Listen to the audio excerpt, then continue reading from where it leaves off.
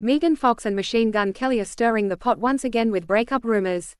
The 37-year-old actress attended the Coachella Celsius Cosmic Desert event over the weekend and made a comment about boys draining her energy. However, MGK, 33, showed his support for her statement.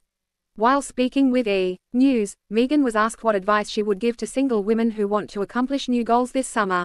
Just learn a skill or develop a hobby and do not waste your energy on boys, the Transformers star said. All they're gonna sick do is drain you. Just move on. Invest in yourself. Megan shared the video interview to her own Instagram account, captioning the post, Life advice from a relationship expert. MGK took to the comments to write, Preach.